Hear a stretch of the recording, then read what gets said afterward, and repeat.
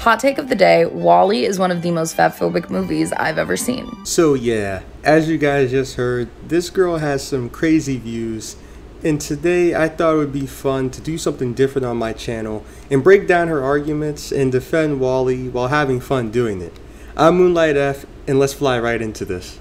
Because the movie's entire premise hinges on the fact that the worst thing to come out of capitalism is that it made us all fat. She says that the movie hinges on this, but that's just incredibly wrong. The reason humans went up to space in the first place was that they ruined Earth and killed almost every other living thing. That's why in the movie, spoiler, the only living things we see is the roach, the plant, and humans, because that's all that's left. The movie hinges on the idea that excessively wanting more, despite not needing it, will have terrible consequences long term. And this ties into the greater message that the story is trying to convey, but I'll get to that a little bit later. They make this out to be a dystopia. But all of these people are fed and clothed. They interact with their friends on a daily basis. There's no need for menial labor or exploitation. Yeah, true, they are enjoying being taken care of, but that's exactly the problem. And I know at this point some of you are saying, Moonlight, how could this be dystopian? Doesn't everyone want to be taken care of? Well, let me answer that like this. How many times have you wished to be on life support or dreamed about having to use a wheelchair for the rest of your life? I know that seems stupid to ask, but that's my entire point.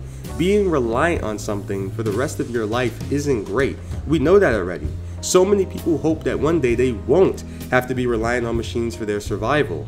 See, when this girl talks about how good their life is, she is under the assumption that they have a choice in the matter, that any time they can choose to do things for themselves.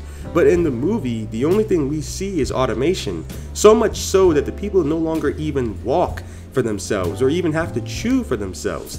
Even the kids from a young age are being conditioned to end up just like their parents. And to make it worse, it's a well known real world fact that being this weight isn't good for overall health. So it isn't just about aesthetics, it is literally bad for them. Even if they enjoy being taken care of, that doesn't get rid of the bad effects, kind of like a gambling addiction.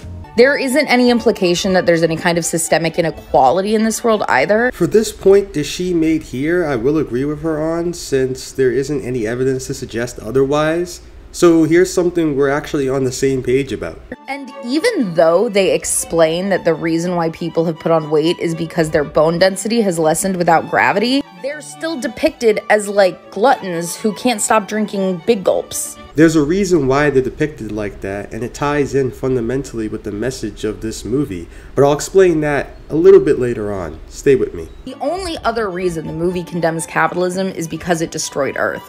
And frankly, I think that's enough. I think saying, Mega Walmart over here destroyed the planet and humans deserve a planet to call home is enough without adding on this, like, we better save the planet so that we don't get fat bullshit. At the end of the day, I think this movie just relies on stereotypes about fatness as a metaphor for like human greed as a whole. And in addition to being fatphobic, I find it very lazy. On this point here, I strongly disagree. See, she says that just depicting Mega Walmart over here destroyed the planet is enough to showcase greed, but this isn't about an organization or an economic system.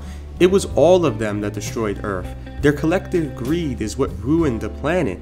That's the brilliance of this movie, is that they force you as the viewer to see what greed is, has not only done to the planet, but slowly what it's doing to the people. When humans couldn't fix the problem of pollution, they ditched Earth with the robots, aka WALL-Es, to clean it up, and this seemed to be a solution, but because the underlying issue wasn't addressed, the greed, the people on the ship began to repeat what they did before, and since in space you can always dump trash into the void, as the viewer we can't see the problem in terms of trash. So where does the problem show up? In the people themselves. Their health slowly breaking down over generations shows the end result of not fixing the problem and drives home the fact that simply running away from your issues doesn't make them disappear. The ship's log is showing that today is our 700th anniversary of our five year cruise. Well, but at the end of the day, I'm Moonlight F, and I'm just looking out for you. Check the mic and make sure it sound right, boys.